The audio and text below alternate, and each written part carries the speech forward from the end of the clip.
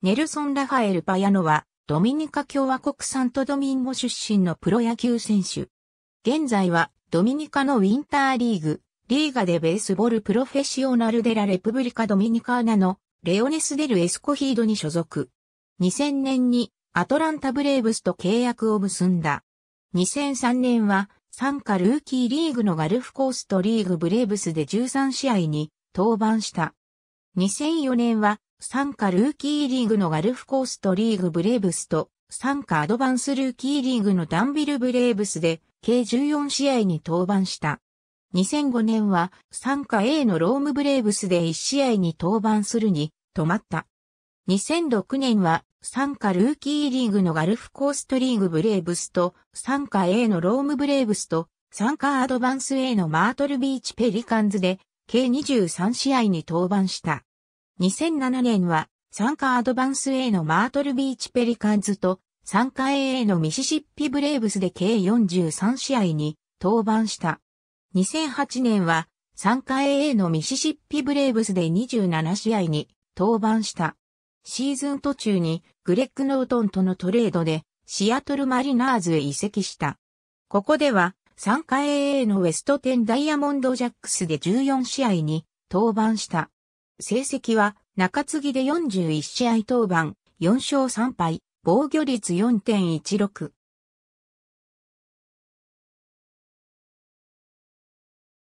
67イニングで65奪三振、42、死球だった。2009年、中日ドラゴンズへ入団。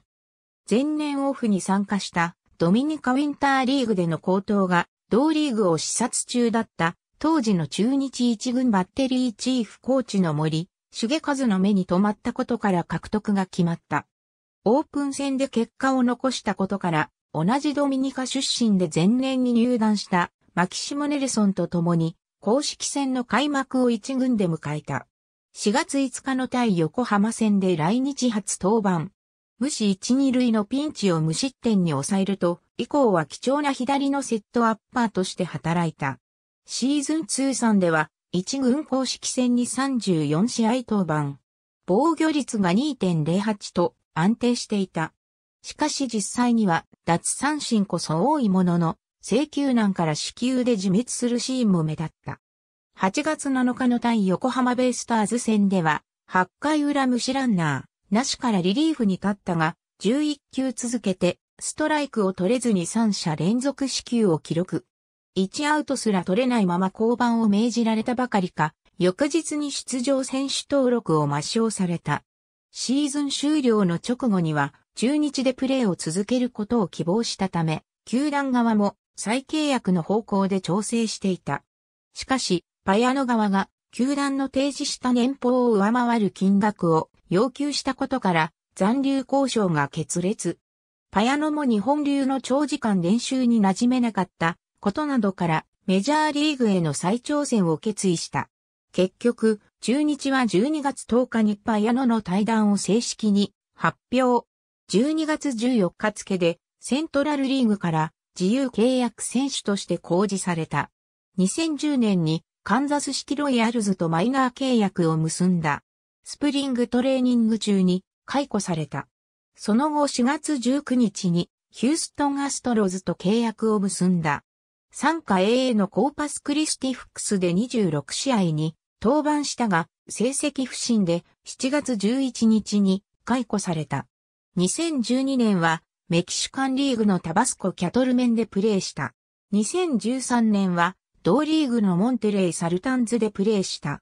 2013年12月12日、中日への5年ぶりの復帰が発表された。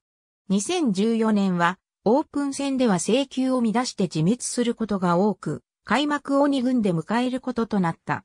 23試合に登板したが、11月28日に自由契約公示された。2015年10月から母国ドミニカのウィンターリーグ、リーガでベースボールプロフェッショナルデラレプブリカドミニカーナのレオネスデルエスコヒードでプレー。最速時速 150km 超のストレートとキレの良いスライダーでねじ伏せるタイプ。他にチェンジアップも投げる。奪三振は多いが、コントロールが悪く、与四死球も多い。中日がネルソンパヤノ出戻り調査、 Don't Sleep、 On Sleeper Pick。2010 Transactions ハット、中日、ゴメス、パヤノラの獲得を発表。2014年度、自由契約選手日本野球機構オフィシャルサイト。2014年11月28日、閲覧。ありがとうございます。